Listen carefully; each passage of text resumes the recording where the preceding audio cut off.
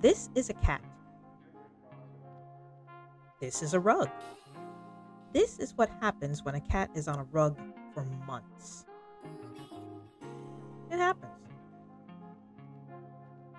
As you know, I came across a product that works wonders, but does it stand a chance against what I feel may benefit for people like me who have lower back problems?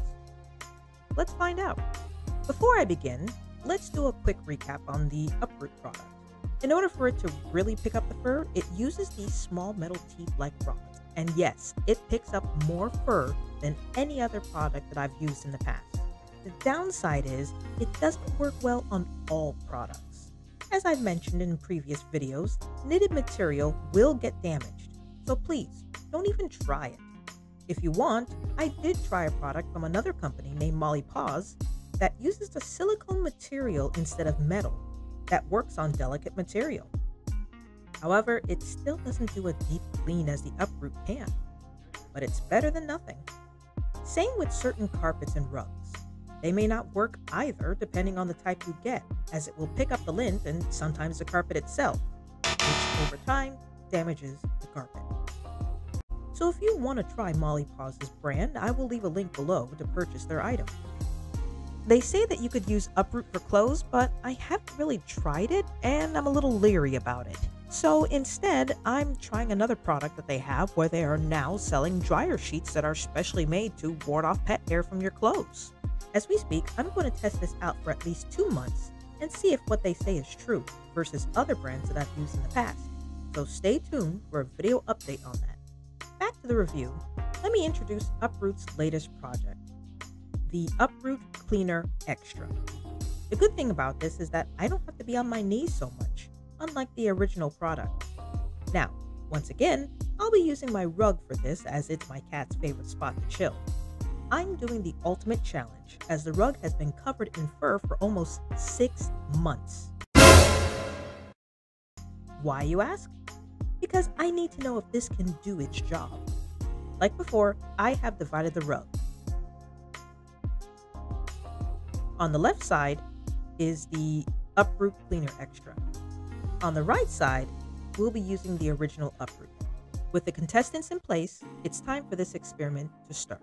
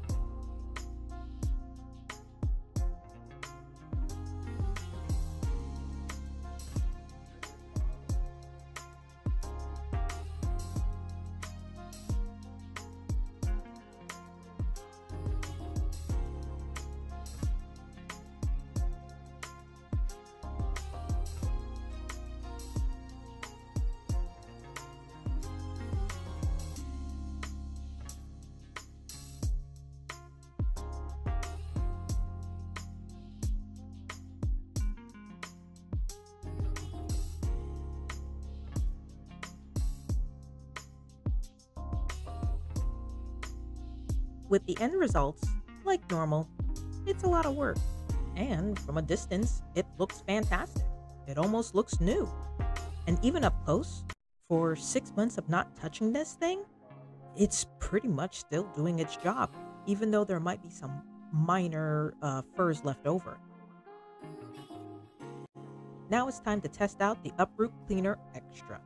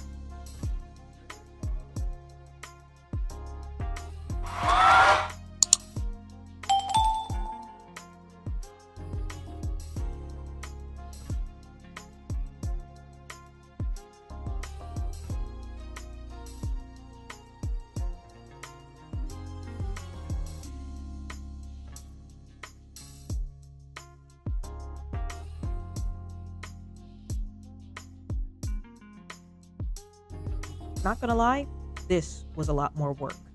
In the end, I ended up just unscrewing the top and using the brush itself and went back down on my knees to continue the rest.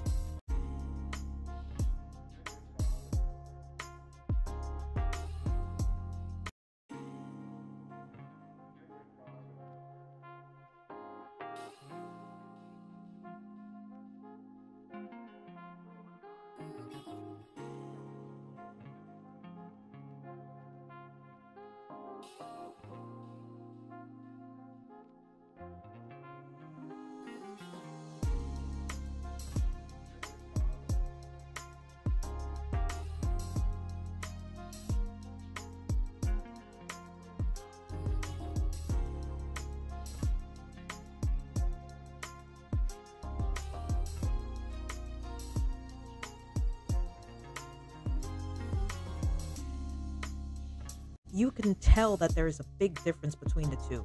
There's still patches of um, fur left over. I even went and used the uproot and started um, scraping off whatever was left over that the cleaner extra didn't pick up.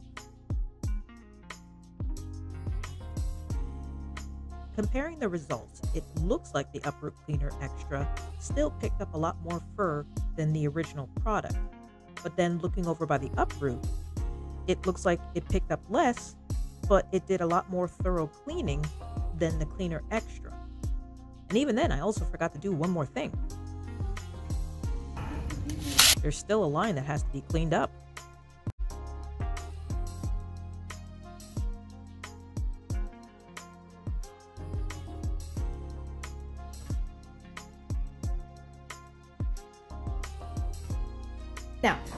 Closer look at the uproots, it seems that the original, as you can see, the metal combs are a lot closer in regards to space versus this.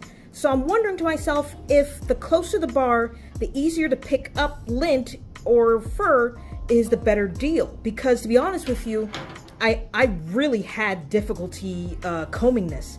I love the fact that I can, you know, scrape and that I'm not having to worry about my back.